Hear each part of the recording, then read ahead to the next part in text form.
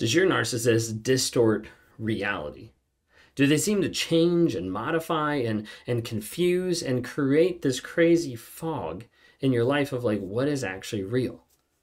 You see, a lot of times we talk about the fog, and we have videos about that of where they where the narcissist creates fear, obligation, and guilt, and it's normally to distract, to confuse, to manipulate the situation, so you don't actually view it in truth. So you're not actually clear about what's happening. And typically, the easiest way to do that is to distort reality, is to confuse what you're actually seeing, what you're actually experiencing, what you're actually hoping and dreaming and thinking about, to be able to modify that, to get you to react, to get you to respond, and to get you to the place where you're walking around totally confused. A narcissist loves to distort reality because if they can distort reality, they can avoid accountability. Distorting your reality avoids accountability to them and lets them continue doing what they want to do on a day to day basis.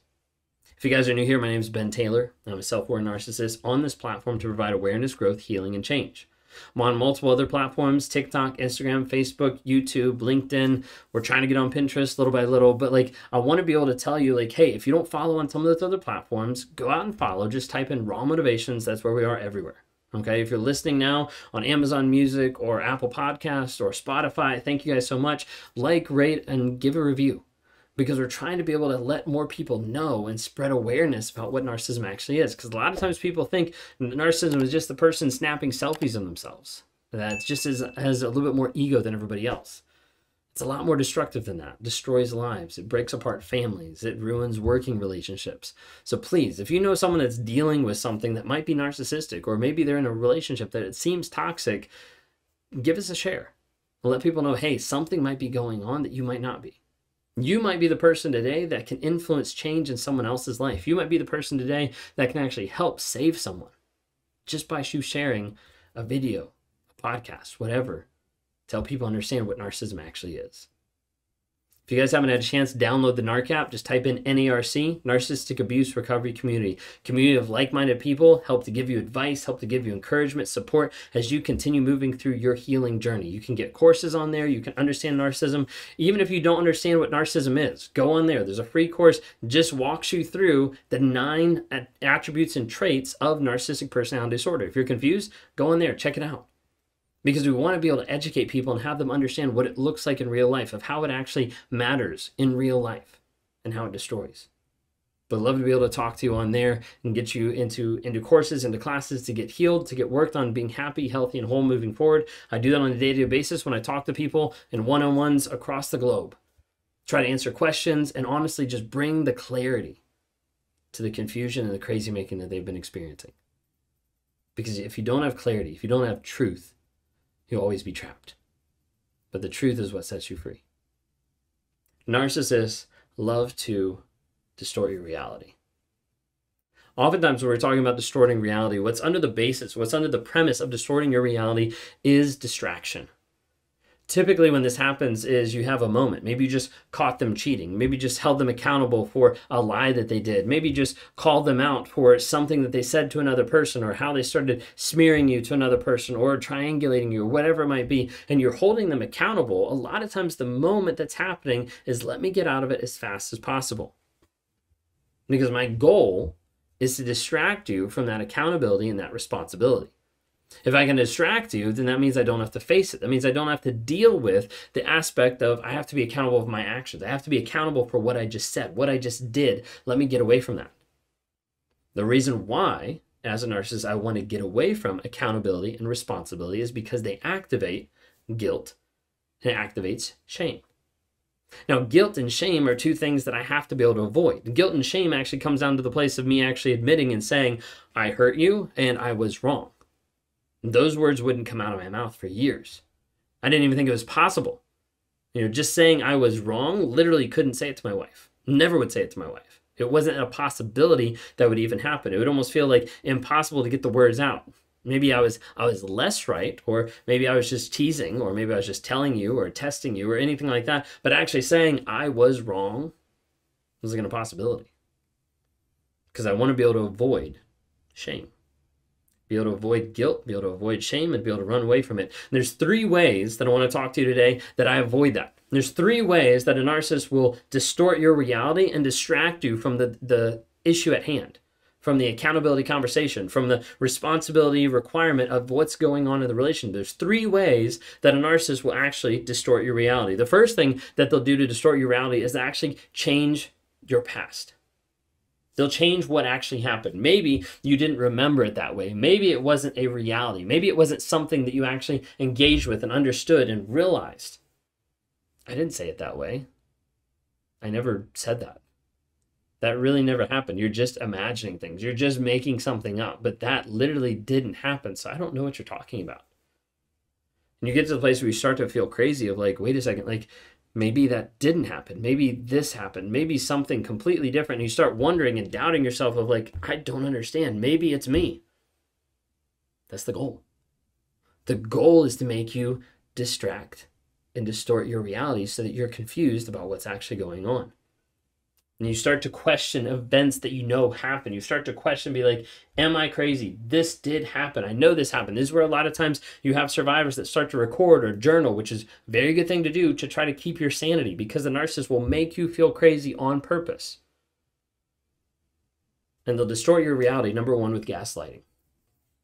Let me change your past reality and make you believe something that wasn't even there or didn't even exist. A lot of times, a narcissist will try to color your perspective. They'll try to change the thought process and the ideas that are happening in the moment. So it's almost like putting on different rose-colored glasses, putting on different shades of like, like, no, don't look at this abuse in this way. It's actually a good thing. It's actually like a nice thing. It's actually me spending more time with you. It's me, you know, giving you gifts. It's me saying, hey, let's hang out more. Let me, let me fulfill the thoughts that you have that you want to have in the relationship. Like, what do I need to do? Like, what's actually happening? Oh, I need to do this. Okay, let me do that let me spend more time with you. Let me spend more time with the kids. Let me do X, Y, and Z. And you'll see sometimes like short little bursts of like, wait a second, like they do love me. And oftentimes they're just breadcrumbing you. They're leaving a trail of little things that you keep following and thinking maybe it's going to get more. Maybe it's going to get better. Maybe, but nothing ever happens. A lot of times a narcissist will try to change your present. They'll distort your present reality with the idea trying to color your perspective of looking at a situation that was abusive or yelling or anything and trying to make you feel or understand that it wasn't their fault or that they actually care. This develops cognitive dissonance. I wouldn't be yelling at you if you weren't so disrespectful. I wouldn't do this to you if it wasn't this way. And it produces cognitive dissonance on the idea of, like, hey, I just yelled at you. Let me give you a hug. You know, hey, I just screamed at the kids. Now let me go buy them toys. Let me do anything that's going to change your perspective of me in that moment because I don't want to be held accountable. I don't want to be responsible. Don't want to deal with shame. Don't want to deal with guilt. So the number two thing that I do to distort your reality is love bomb.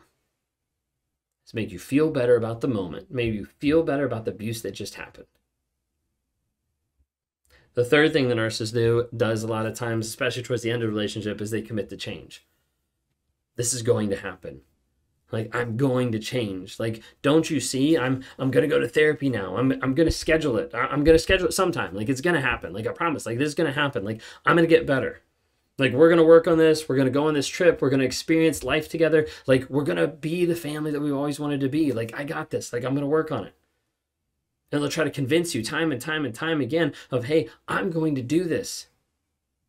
And you start to realize that it's just empty promises and you start to realize that the things that they're saying, they're not actually doing because you don't see the incremental change on a day to day basis. All you see, the number three way that they distort your reality is future faking. Narcissists will try to change your past reality, they'll try to color your perspective, and they'll try to commit the change, which ultimately the three things is gaslighting, love bombing, and future faking. But the goal, the primary goal of distorting your reality is to distract you from what's at hand to distract you from the fact that I'm cheating, to distract you from the fact that I'm lying, to distract you from the fact that I'm abusing you mentally, emotionally, or even physically. That's the goal. And it puts you in a fog. It puts you in a place that you're like, I don't know how to get out. I don't understand what's going on. That's the whole reason. And if you have, in what you have to understand is the reason why you're feeling so confused is because your reality is getting distorted. You need to ground yourself in reality so that you can get back to the place of acknowledging and seeing the truth of the situation because the truth is the only thing that'll set you free. If you don't acknowledge the truth, you will always be caught in the fog. A narcissist wants to distort reality. A narcissist wants to distort reality, take accountability and responsibility, and sweep it under the rug and continue on with life because their goal is if I can distract you from this moment and I can continue moving forward. The past is in the past. You don't really know what you're talking about. Like I'm still here. I'm still engaged. I'm still fixing myself. If I can do all those things and distract you from this moment, that we don't have to talk about accountability. We don't have to talk about responsibility. We definitely don't have to talk about change. We don't have to talk about honesty or vulnerability. And I can revert to the same exact thing that I've always done, which fulfills my desires, makes you feel stupid, makes you feel crazy but at the end of the day, it doesn't matter because then I don't feel guilt and I don't feel shame. I mean, if I can run away from that, if a narcissist can run away from that each and every day, if they're faced with that decision, it's a lot easier to run away than it is to be honest and vulnerable about the reality that they're distorting for you.